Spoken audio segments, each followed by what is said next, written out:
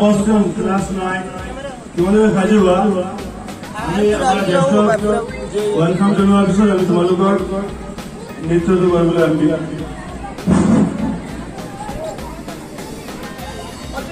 আহি সময়ৰ লগত সকলোৱে হাত চাপৰি বনাই দিবা থিয় হয়? এয়াই আমাৰ মাজত আহি উপস্থিত হৈছে চৈয়দ আহমেদ চাহেব সমাজ সমাজ নজৰুল ইছলাম মোল্লা চাহেব আৰু তেখেতসকলক নিজৰ আসন গ্ৰহণ কৰিবলৈ অনুৰোধ জনাইছে।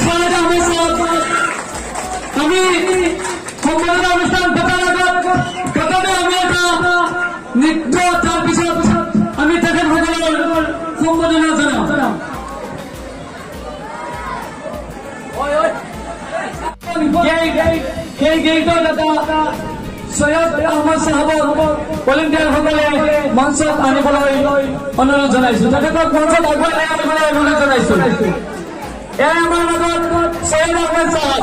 কৰি যায়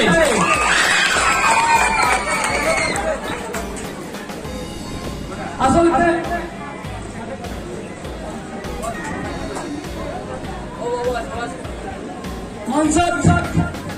আমি মাতি আনিছো। মেহবুব আহমদ চাহাব আমাৰ ভলেণ্টিয়াৰসকলে তেহেঁতক মঞ্চলৈ আগুৱাই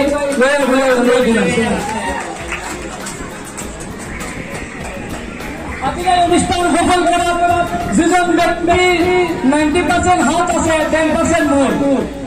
আৰু সেই ব্যক্তিজনক মই মঞ্চত আগুৱাই লৈ আহিছো। সেই ব্যক্তিজনৰ নাম হৈছে নজৰুল ইছলাম বৰলস্কৰ মই ভলেণ্টিয়াৰসকলক অনুৰোধ জনাইছো তেখেতক মঞ্চত আগুৱাই লৈ আহিব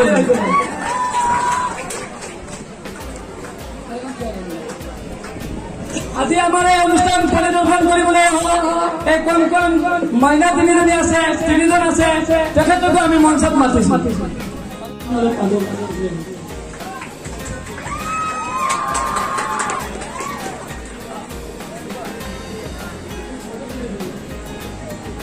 বিজ্ঞান ছাৰ প্লিজ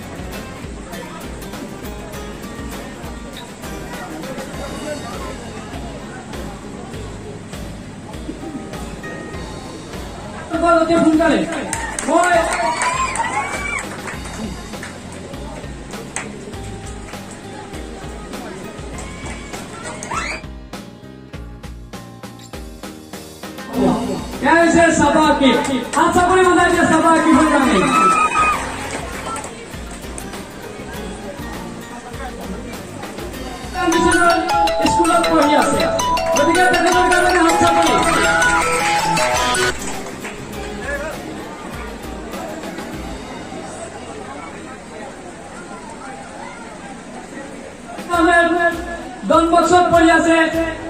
তেওঁক মই আগুৱাই আহিবলৈ কৈছো আৰু তেখেতক এখন ফিল্ম গামোচাৰে আদৰণি জনোৱা হ'ব।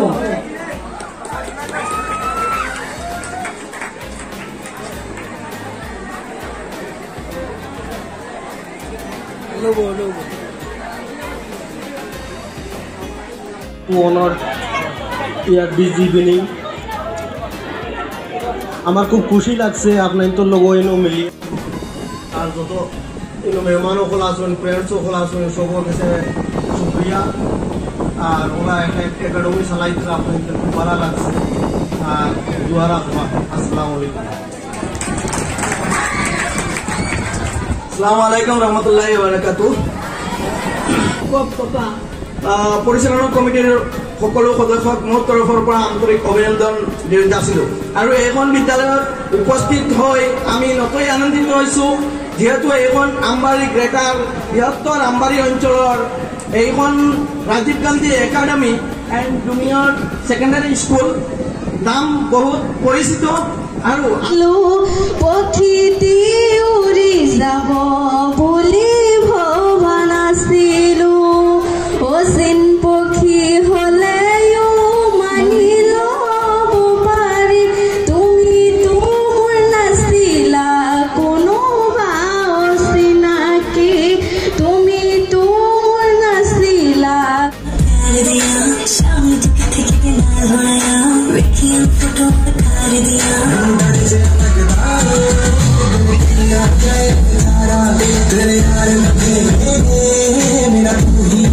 Chip, chip, chip, chip, chip, chip, chip, chip, chip, chip, chip, chip,